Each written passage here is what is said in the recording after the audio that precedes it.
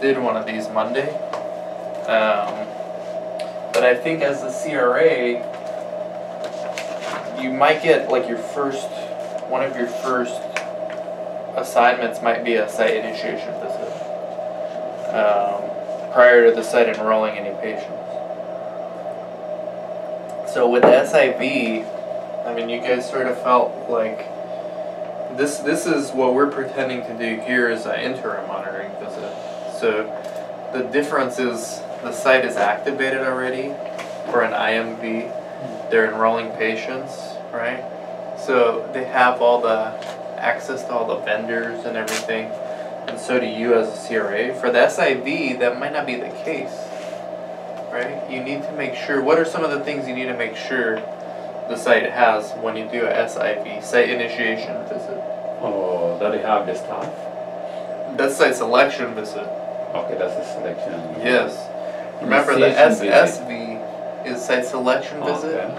That's when you're doing the assessment of Okay. do they have adequate staff. Okay. Um, SIV, they already have the study. Yeah, so they would have signed the uh, contract with the sponsor. Yes, By then, everything's done. So Like, you're checking if uh, they have the right uh, EDC system that they'll be using. Correct. So all the vendors, okay, like EDC, Mhm. Um, IWRS, Mhm. um, any like assessments, any other assessment vendors like ECG. Okay. Um, usually that's um, CardioCore is the ECG vendor. Mhm. IRB access, okay, Mhm. IRB approval Approval. and access to their website because now IRBs have their own portal. Okay. Okay, so the approval letters. So as a CRA, what are you checking during the site initiation visit? Because there's no source at Mhm. this visit. There hasn't been any patients. Mhm. So the only thing you can check is the regulatory, right? There's no source at all. Okay. Sometimes you're just thrown into a situation where you don't know. Like me on Monday, I mean, I was just thrown into a site initiation visit, and the site is using e-regulatory. They have EHRs for uh, those are electronic health records. They have local IRB, so they didn't even have EDC access. They didn't have IWRS access. They had IRB access because it was their own IRB. Okay. But as a CRA, I didn't know any of these things. I had to find out. I had to ask them. And it's very likely that you, as a CRA, are going to be facing the same kind of things. Alright, so the, the SIV is important because it's, like I said, it's likely going to be your first assignment when you go out somewhere on your own for a, for a visit. So you're making sure, basically, it's all regulatory, is what it boils down to. Mhm. Okay, so one of the most important things you absolutely have to do at your SIV. Okay, if you, let's say your SIV was only 30 minutes, Okay. You only have time for 30 minutes, what would you do? Regulatory binder. No, only one thing protocol training. Okay. That's it. Okay.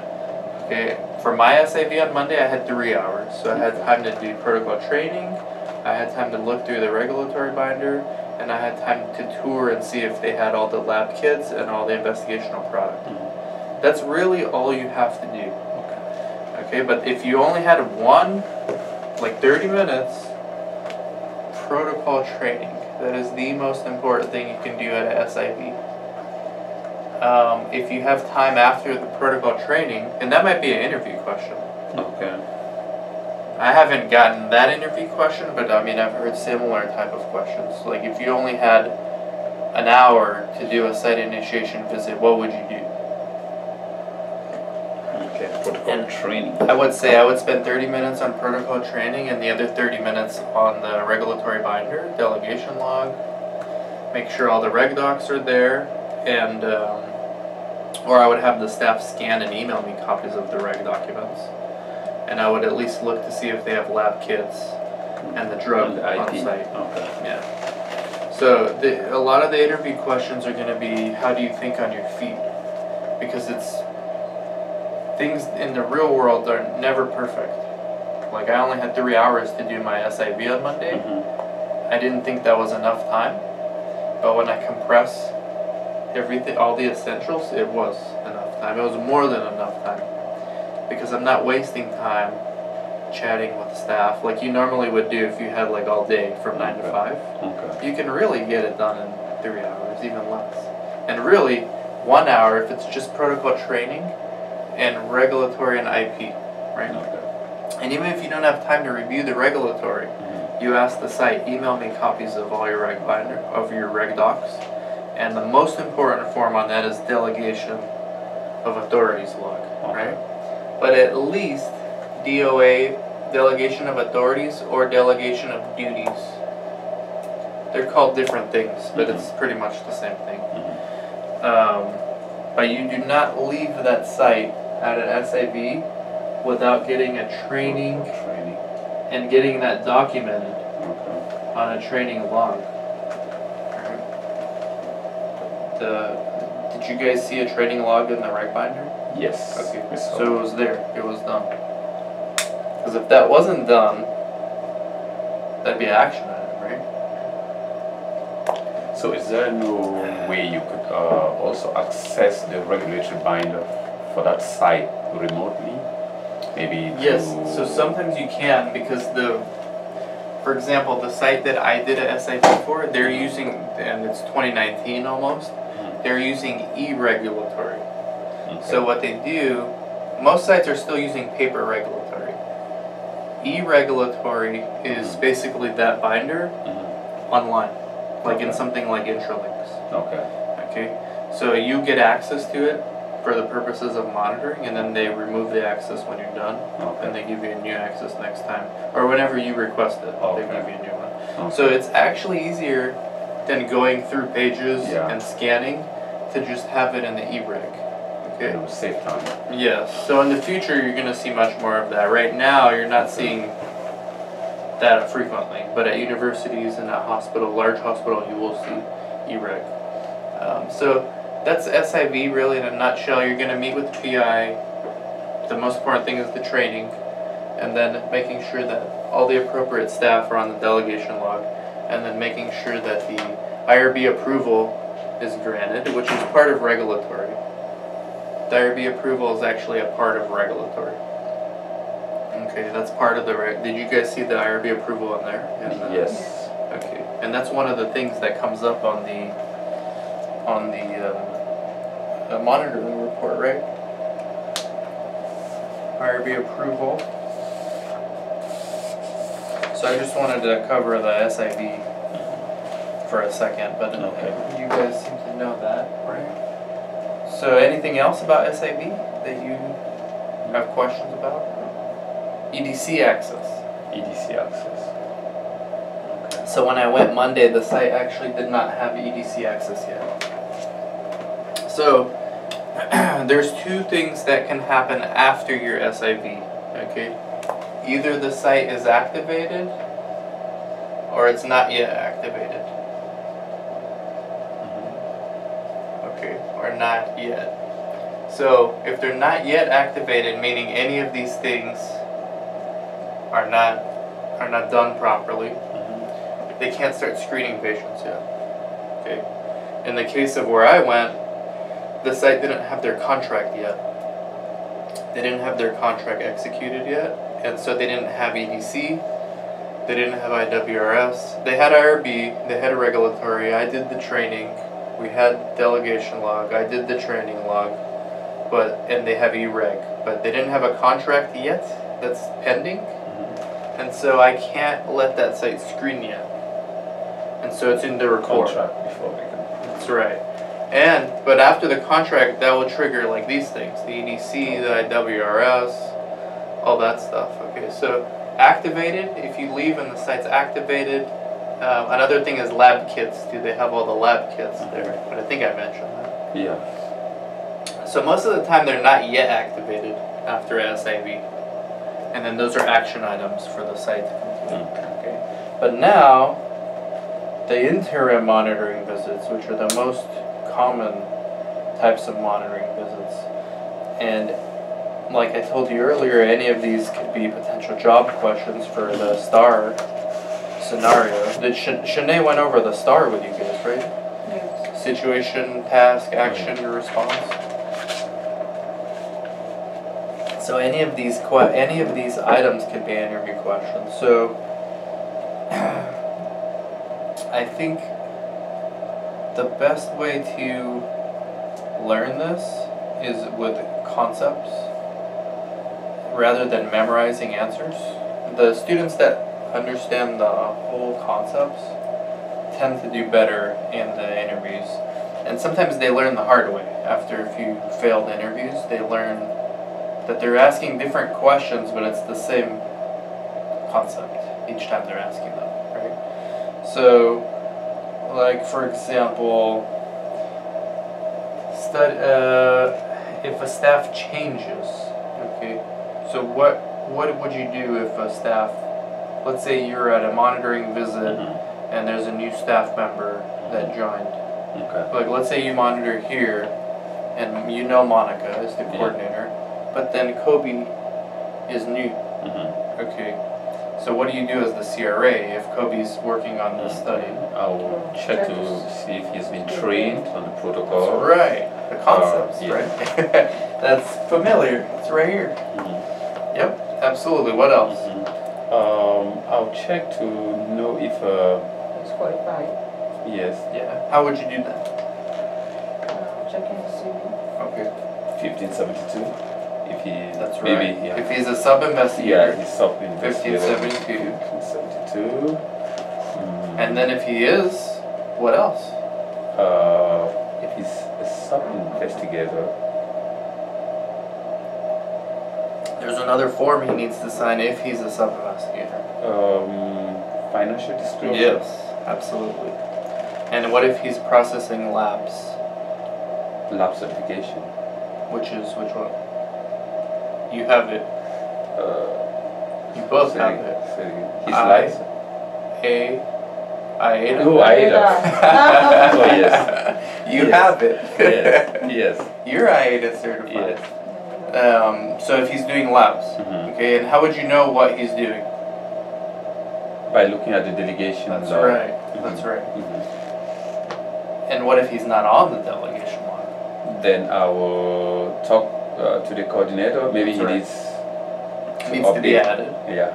And then you could find out what duties he's doing. Mhm. Okay, good. And um, training log, the monitors can actually do it themselves. Mhm. Um, when I monitor, like at a SIV, I always train. But if it's like an interim monitoring visit and there's a protocol amendment, that always requires training. Okay. Like let's let's assume the site did not do that training. Mhm. Then you are allowed to do it as the CRA, or you can just recommend that they do it. Okay. And document it. Document everything is documentation. Okay. Um, if you do like if, if you do so what do you do with another star protocol amendment that also besides training. Besides protocol training um, a protocol amendment because there's many during a study there are average four amendments per study so a protocol amendment triggers also usually an informed consent amendment Mhm. Okay, so what happens if there's been an amendment to the ICF and you're monitoring, but the patient signed the old version? Mhm. What would you do? Uh, if they have visited after the new after the amended uh, ICF, Yes. then that is a deviation Mm-hmm. which will have to be uh, documented and reported. Correct. Yeah, because they are supposed to be reconsented for the. Correct. Uh, for the And who who reports and then to who? uh, the PI should report to the uh, sponsor and to the IRB. And the IRB. Correct. Very good. So yes, um, and then you attempt to get the patient to come back and sign it at their next visit. That's a common, very common monitor finding, is um, ICFs which have been amended that haven't been signed by the subjects, even if the subjects came in for repeat visits. Now, what happens if you notice this for, let's say you found that out, Mhm. they reported it, and then the next time you come, it happened again Then I'll have to on train another them. patient. I'll train them on uh, the, re- the consenting or reconsenting process, Yes. and which is still another deviation. Another deviation. Yeah. And you should recommend to the site, and then you should put it, definitely put in your report, Mhm. CRA recommends corrective action, preventative action plan. Okay. It's called CAPA plan. Okay. It's uh, corrective action, preventative action. CAPA. That's when you see major things reoccurring. Okay. Alright? If it's just once, I mean, if it's significant enough, like let's say they didn't do a consent form at all, I mean, maybe that's only one time is enough to do a CAPA. But if it's something like an amendment, you're seeing them doing it repeatedly, that you can recommend a corrective action, preventative action plan that the site needs to draft and then send to the sponsor for approval. Um, so there's a lot that can go on with that. Uh, what did you guys discover in your report as you went along? What, what were some of the issues that you had? Uh. Because this was like today's visit. Like you're the regular monitor, so sometimes we didn't know what information should really go where. Because when they say, uh, has the protocol been amended, we have to look at all the protocols and see, okay, they've been amended like That's six right. times. Or So how'd you do it? You just went through we just went through everything. the various versions that That's are right. so far. Mhm. So Matt, like um, this happens a lot to senior CRAs Mhm. Because there's a lot of turnover in the industry, right? A lot of CRAs leave and go somewhere else. So the senior CRA will take over an existing site. They've never monitored that protocol, never been to that site, and they're just thrown into a situation just like you are today. So they do have to do the same thing, right? But they're they're senior CRAs. Mhm. But they may not even know the protocol or any of the context of how many amendments. Maybe they were just assigned to it the day before. Alright, so there's, they really, they literally do what you did, which is count the amendments by hand. Were any missing? Did you find any missing? Or they were all Mm, No, I didn't not find find any missing missing amendments. Okay, So we thank saw- God. We saw that um, the, um, the, the patient was supposed to reconsent and he, it wasn't done. Did they say why? Uh, Personal reasons. Did it mention that? No, no. Oh, They okay. declined, uh, I think they withdrew from this, the study. eventually. They, yeah, they withdrew from the study. They were, yeah, okay, yeah, they withdrew from the study actually for personal reasons. okay. Mhm. And they never got to sign the consent again. Uh, after the withdrawal. Right, Well, or um, even before, right? Well, they signed they some signed- consent. they They signed signed all the series of con- consents. Mhm. Oh, they did? Yes. Yes. Okay, To, to the point of uh, withdrawal from the study. Okay, but they're current on all the consents. Yes. Yes. Okay, that's good. The withdrawal's okay, you know, they're allowed to withdraw.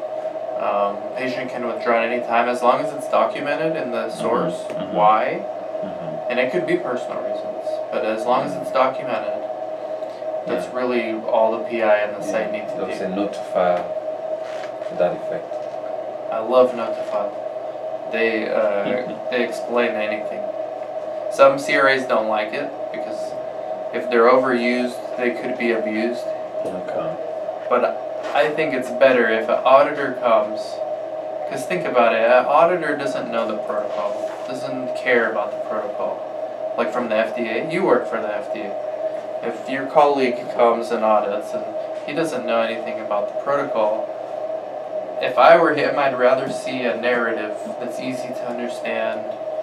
I know I don't have to guess why this patient was withdrew. It's Mhm. written there. It's good. Or if a site made a mistake, they have a note to file. This assessment was not done because it was done later. Right?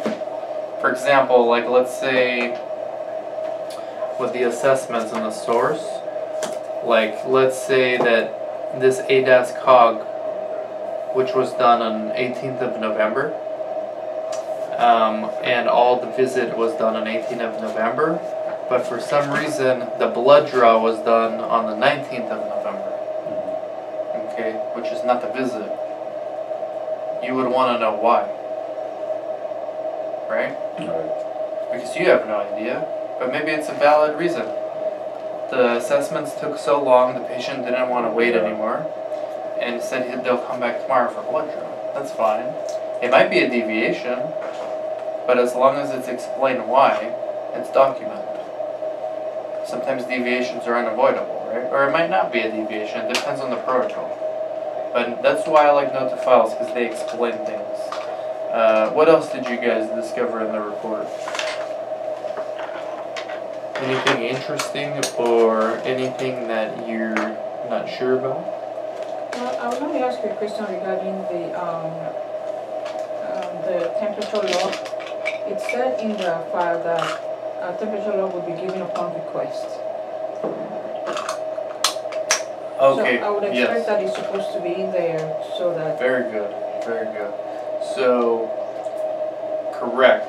And as a CRA, oftentimes you are required to collect and attach to your report copies of certain documents.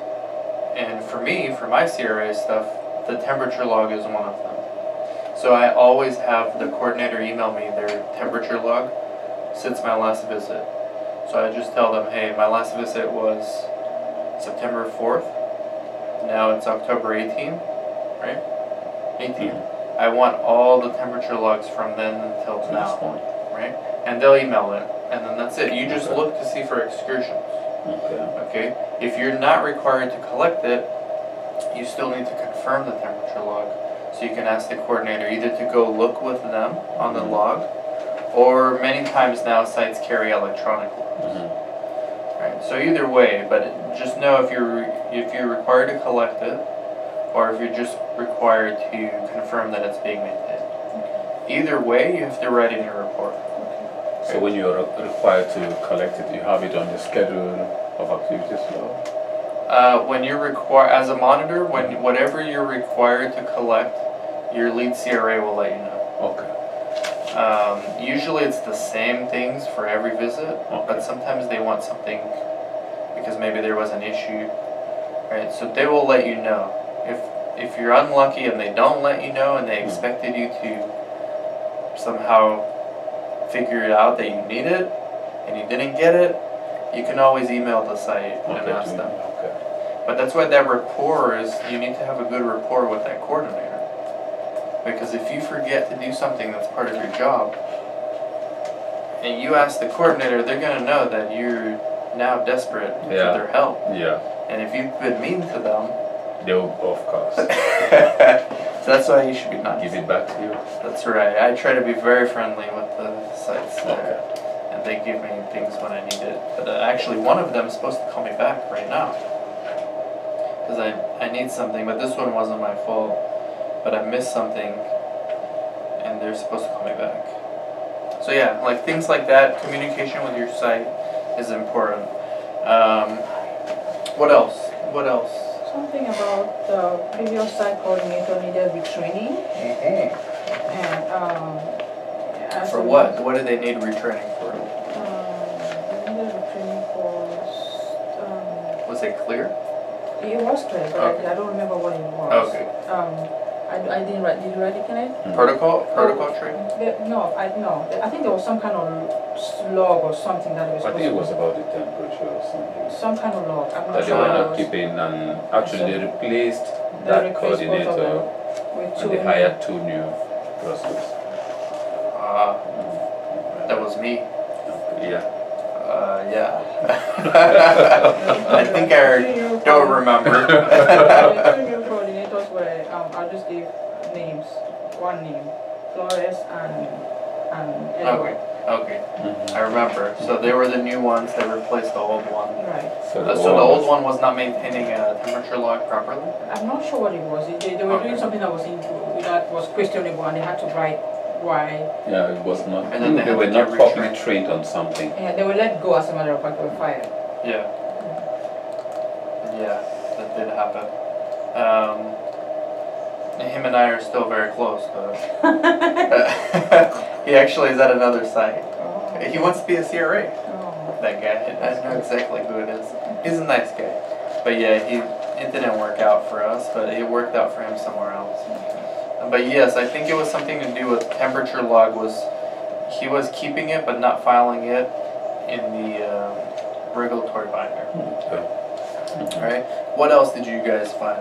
Uh, during the randomization visit, the, uh, the protocol had been amended and they failed, During the visit. yeah, they failed to reconsent. You see Yeah. what we just talked about. So They had to, it's a deviation. that's a deviation. Mhm. Yeah. And if it would have happened again, Mhm. it would have been a corrective action, preventative action. This was a messy study, Mhm. Um, not a fun study. So there was a question that asked for safety aspects, and um, we're not sure.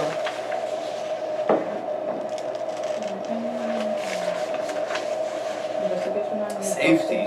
Safety. sent to the site subsequently reported to the IRB. Yes, it says that there was a safety update initiated on March the sixth, Mm-hmm. but what we're not sure was, okay, yes, it was initiated on that March the sixth to be reported to the IRB.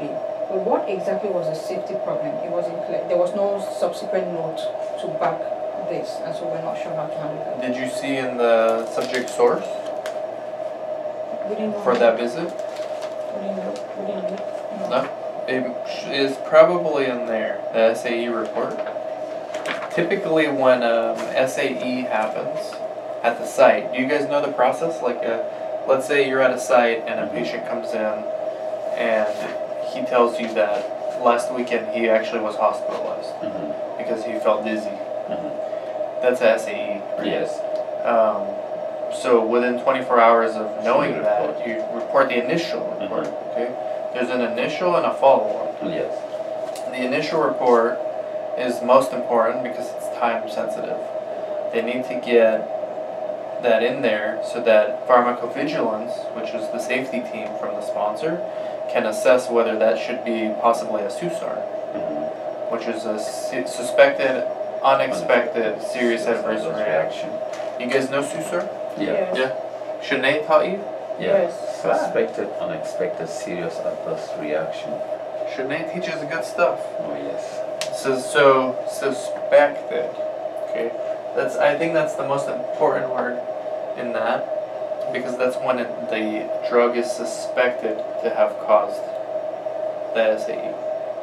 If a SAE happened and the PI and the sponsor determined it's not likely to suspect it as the cause, it won't necessarily make the SUSAR Okay. list.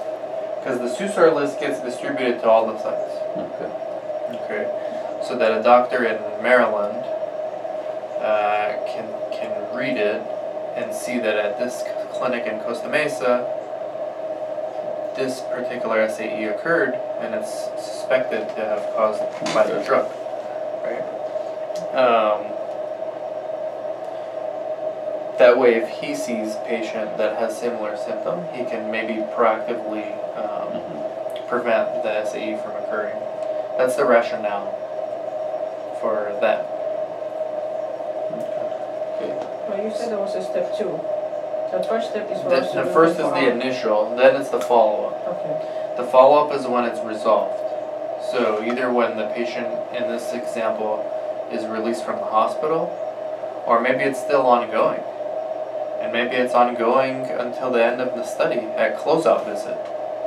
Right? So that's actually a good topic. So at closeout visit, COV, we've kind of briefly discussed every visit now. Closeout visit, you're making sure that all SAEs are finalized. And they could be ongoing at closeout. Like, I think an ongoing one would be if someone got cancer Mhm. and they haven't died and the study's over. It's ongoing. Okay. If they died, it actually, it's another SAE, it's death, Mhm. but it, it has an end date too. It dissolve, it, it um, It's it's uh, it's no longer ongoing. It's resolved. Okay. So either resolved or ongoing. Unless they are still waiting for the report of the autopsy. True, true, but that would be more for the cause of death. Mhm. But it would the death itself would be resolved. Okay. Okay, if I may ask, Yeah. um, the la- from from our visit with Chris, uh, he mentioned something to the effect like um, usually um, PIs are, or the doctors in charge are very reluctant to accept that the drugs are causing maybe very serious side effects and or possibly death. So with this, I, I, I was pleasantly surprised to see that were, there were side, serious side effects enough for the patient to say no. Uh, for this study. Yes. Oh, when the patient declines to do the study. Yeah. Yeah, and, and those anything that's known, suspected side effects, um, those are all listed in the informed consent. Anything that's known, and also remember the IRB has to approve every protocol. So the IRB's job is to make sure that no patient is put at unnecessary risk. So sometimes protocols have to be redesigned to make it safer for patients. But yeah, patients can withdraw at any time. PI can withdraw the patients at any time too. In San Bernardino, we have a really good PI who's very involved with uh, for general medicine studies. And yeah, he's, I mean, he withdraws patients when he sees there's some safety concerns, even potential safety concerns. Withdraw. And what's the proper? Well, this is actually a good question. So, what's the proper way to withdraw a patient from a study? Like, give me the procedures.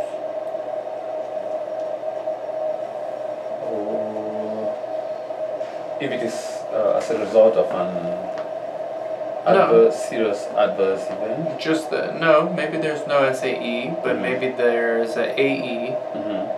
And the patient and the PI decide, you know, maybe it's better you don't do the study Okay, anymore. so they will have to still come back for follow-up visits, yeah, early uh, termination. early termination visit, and then necessary follow-up, and the PI has to follow up within the uh, washout period to see to it that everything is uh, properly resolved. hmm Mm, report it to the sponsor and the IRB. Okay. Mm, you don't need to report it to the sponsor Okay. or the IRB. For it's a, so it's an early termination visit. Mm-hmm. Okay. Early ET, ET, or it stands for early term. Mm-hmm. If possible, sometimes patients don't want to. Sometimes patient, especially with psych studies, patients are just completely change their mind and say, no, I don't want to do anything Oh, anymore. and one thing, they have to uh, make an uh, attempt to collect any IP that is still in the keeping of the patient. That's right. Yeah. That's right. Get the unused IP Mm-hmm. in the bottle. I think exactly. But there is another thing. What if the patient is not the patient of the PI? Um, I think uh, the PI, we still have to follow up with their primary care, with their primary care to make sure that uh, uh, whatever uh, condition they had is resolved. If That it's, ad- it adequate care is taken. It has to be documented. Okay. Now, what if the patient refuses, like when the patient joins, there's usually a form that allows the doctor to notify their primary care physician about their participation. The patient can opt out of that. Mhm. I want my doctor knowing. Then it should be still documented that the PI had a conversation with the patient and it urged him or her to go To see their primary care or a specialist if it was like a cardio issue, Mhm. whatever the case may be, or and maybe referred to a colleague of theirs. But it should be documented. Okay. Like these safety safety provisions should always be documented. If I may ask, Yeah. if it's a psych patient and or maybe a, a, a heart patient and they are on uh, medication that if there are some medications, particularly psych medication, that it's difficult for you to just withdraw the patient from it you must titrate it and lower the dose. That's right. you So would that apply here? Yeah, so if it's something like where it's dangerous to just stop all of a sudden, it's called a dosing schedule. Okay, You should follow the dosing schedule. okay. And if it's, uh, if like in chemo, you see this all the time with cancer. Mhm. Um, there's a dosing schedule, how to titrate down, how to titrate up. In cancer, in oncology, you're gonna see SAEs all the time. So they have actual dosing schedules for the IP. Like, at when this SAE occurs, you should follow this dosing schedule. If this one occurs, they already have it mapped out for you. If they don't, you're absolutely right, and it's the PI's responsibility to make sure that there's no harm done to the patient. So even if they're not following the protocol anymore, it doesn't matter, it's patient safety first. And the PI can discuss with medical monitor for appropriate course of action. And usually the coordinator has to be involved with that as well. And you as the monitor, of course, need to make sure that that's happening. And as this is why they love RNs. Because you know this, this exact thing you talked about is what you're gonna be looking for as a CRA, right? Like, how can you just stop the meds all of a sudden? I'm an RN, I know this particular medication will cause, you know, you can't just do that. So what would you do if that you monitored and that's what you discovered happened? I will try have meeting with the PI. And I'll bring it up to him as polite as I know how. I to tell him, from what Chris said, tell him that I know he's an expert and he knows and he's very busy. But the IRB, it is very important that we follow the guidelines.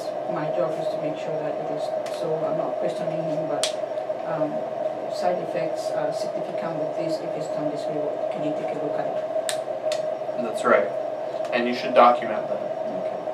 Okay. Okay, and maybe have medical monitor um, get involved. But if the damage is already done, but so, but that's a great point because if the protocol doesn't specify how to down titrate, technically the PI did not commit a deviation, but it's not good clinical practice to cause unnecessary risk to the subject.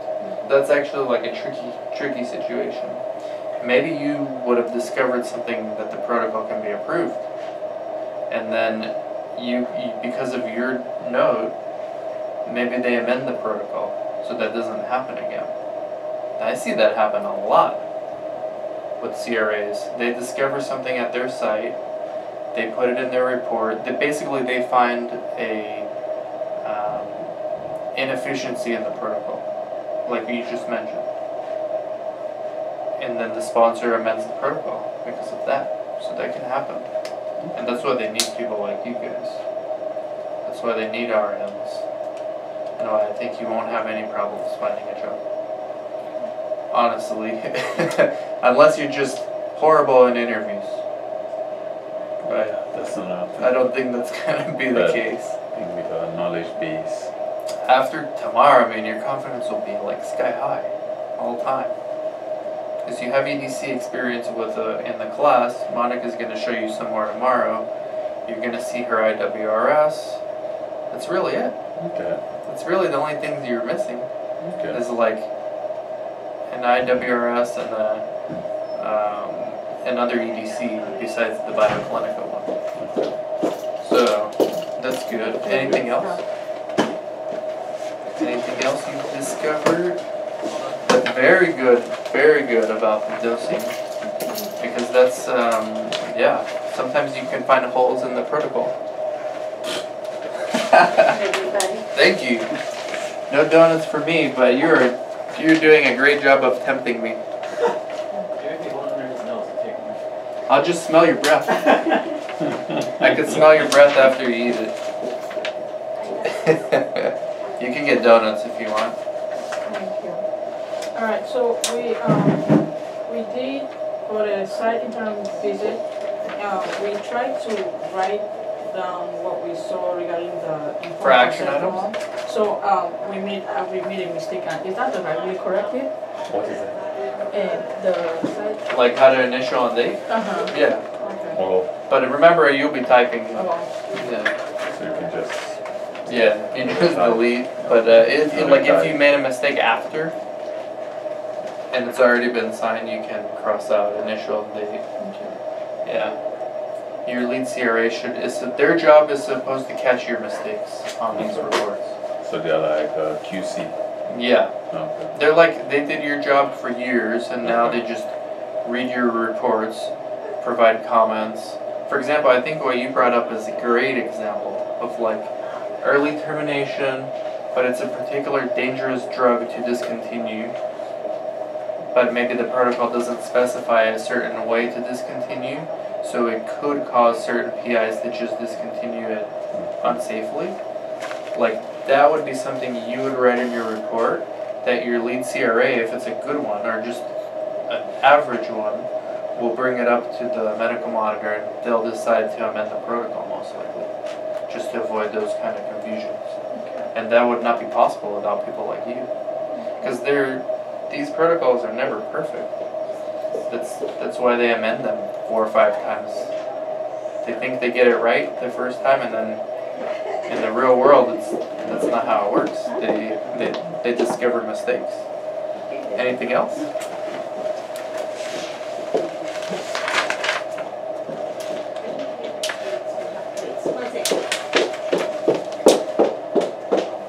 Not much that we found. IP, IP excursions, regulatory binder. Now it'll be interesting. I think regulatory binder review will be a lot easier with EREG in the future. Okay. It's also potentially dangerous for career because it's so easy to access remotely. You may not need a CRA to go Okay. do the visit. Right, right. And that's where they're getting because E-reg. I mean, there's two things here, right? It's E-reg, regulatory and source. Like if those are both electronic, and you can do both of those remotely. So you don't need a CRA. right? But you still need one. But they're remote. They're gonna and their jobs will evolve. Because you can't just not monitor it either, and you need to know what you're doing to look at the E-reg. If you don't know what you're doing looking at a physical paper, you're not gonna know what you're doing looking at a one online, right? So you still need, you're still gonna need CRAs, but the role of a CRA is going to evolve. Uh, So will the? Hmm? Will the pay change? I don't think so because I, I think they would give Yeah. you, I think they would give, I think that will allow for more studies. What we've been seeing is um, an increasing supply of studies every year. So, and we're not seeing more CRAs. We're seeing the same CRAs do more. So I don't think so. As long as the economy keeps booming. Mhm. Now, a Great Depression can wipe it all out, but provided that that doesn't happen, just a simple recession is not going to really affect it too much either, because there's still a shortage, right? And eSource and eReg, we're just this is like five percent of studies. Mhm. It's increasing, but it's we're nowhere near everything being electronic. It's in the early days, but we're switching to eSource here too. Okay. And eReg will be later, but then we'll switch there also. Everything will be digital pretty soon. You don't need any of this. It will just be two laptops, like your laptop, your laptop, and then an iPad for each of you. So you have the EDC on your laptop Mhm. and the eSource on the iPad, and you're just reviewing that way. Okay. Use a laptop with a hook to another monitor. Yep. Open one here, Yep. open one. Yep. Just use two monitors. That's right. Pretty much. Pretty much. So compare. Any other any place where you guys feel like you're uh, unclear? Uh, I think uh, it was about the labs. They were asking uh, have PK lab samples been prepared and stored correctly. We could not answer some of those. Right. Yeah. But in real life, if you were at the site, you would Mhm. get up and find the coordinator, Mm-hmm. Monica or Kobe, Mm-hmm. And tell him, hey, stop eating donuts and find me the the PK. Right. Right. Okay. Okay. And so that's what I do. That's answered. Yeah. Don't be afraid to ask what you need because if you don't ask, the site's not going to give you. They don't know what's on your report. Mhm. They have no idea, nor do they care. So you need to you need to be um, vocal about Okay. what you request.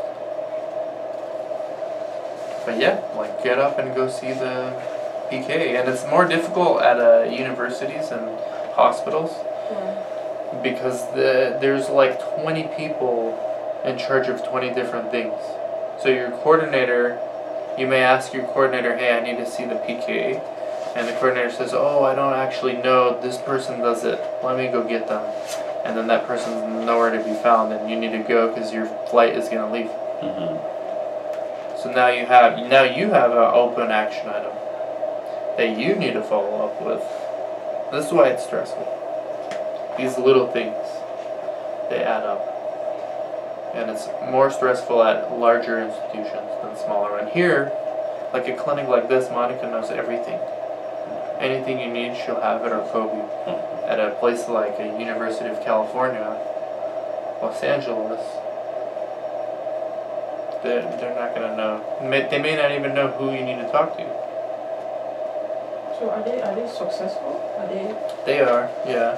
Because eventually you'll figure it out, and then you'll know who to go to. Like me, when I when I am scheduling my monitoring visits for university, I have to get like three different people to say okay, that's a good date for us. Okay. When I'm monitoring at a small site, it's just the coordinator. Coordinator. That's it. The coordinator checks that the PI is available, and that's it. But at university, it's like you have to go through more people, which makes it tough for like even simple thing like that. Like, let me see your PK sample, and let's say you couldn't, right? Let's say this is real life. You couldn't find somebody who can show you the PK sample. Mhm. There should be a PK log Okay. somewhere. And even if they can't give it to you that day, Mhm. it's, it's an action item that person has to email it to you. Okay. Okay, but again, it's something. It's better if you get it there because it's you don't have to follow up. and all that, yeah. Because by tomorrow you're gonna go monitor someone else. Outside. They're gonna have their own issues, Maybe. and the last thing you want to think about is this PK log. so what's the average day, say on Monday morning and you are CRA and how many hours is it? Depends what kind of visit. Like if it's a SIV, it could be short, like one to three hours, one to four hours. If it's interim monitoring visit, again depends on the amount of patient activity. If there's a lot of data to review and a lot of changes to the regulatory, it's an all day thing, like eight to six, nine to five, and then your report. If it's very little activity and no regulatory changes, maybe like a four hour visit, and then your report. So it just depends. I think the one good thing about CRAs, well, good for many people, is no day is the same. So it's like kind of, it's not really boring because it's always something different. That's what real CRAs have told me. But some people prefer the routines. But with the CRA job, it's not really a routine because every site's different every visit's gonna be different. There's different issues. So for this study, see, we have all these uh, binders and folders here. So each time the CRA came in, they had to do this for each subject. For anything they haven't monitored yet, yeah. And for the stuff they have monitored before, they look to make sure the action items are completed. Okay. Because you see the action items at the end? I mean, these could be like 20, like a list of 20 things. And if you see how it says resolution date or ongoing. I mean, you don't want too many ongoing. Like, the site needs to get those things done, right? The sites can be put on a screening hold if it gets too bad by the sponsor. We found that there were some sections here without the necessary documents. Is it that uh, they never had them? Which section? Like here, let me see. Uh, investigator news letter. Ah, Operational procedure. So whenever you find something trial like that, yeah, whenever you find something like that with nothing in it, Mhm. that's the perfect time to tell the site to put a note to file in there. Okay. What, where is this? Usually it's with the contract. The contract is never in the reg binder, Mhm. but there's always a section for con- like financial. You see, Mhm. and I knew it's not there, Mhm. but it should be a note to file, like a a, a good CRA Source would have put a sticky here and said, hey, where is note to file where the contract is located. Subject identification law. Well, that's important. So a note to file, where is it? Source data. Yeah. Note to file for all that. Usually the sites have explanation, like we keep all those. Eligibility, uh, something like. Yeah. So usually sites have a good explanation. We keep all those things in a different binder because this binder is too big. Bless you. But uh, note to file, note to file because the auditor, auditor is not gonna know. Like if FDA usually audits years after a study's over, Mhm. And by that point, like the staff are not here. Mhm. That's new people, Yeah. and they don't know if there's a blank section and FDA asks Okay. them where is this, they're not gonna know. So note to file is gonna help everybody. Okay. So when we go out and we look at the reg binder like this, we just take note of whatever is missing and then we draw the attention. Yeah. What's missing? There's a reason why the sponsor wants those in there. Mhm. You can keep them somewhere else, Okay. But I we need to document. It Okay. can't just be blank. So the file will be here.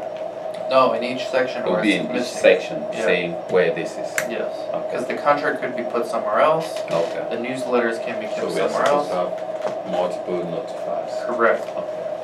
That's why I like notifies. Anything else? This was pretty good.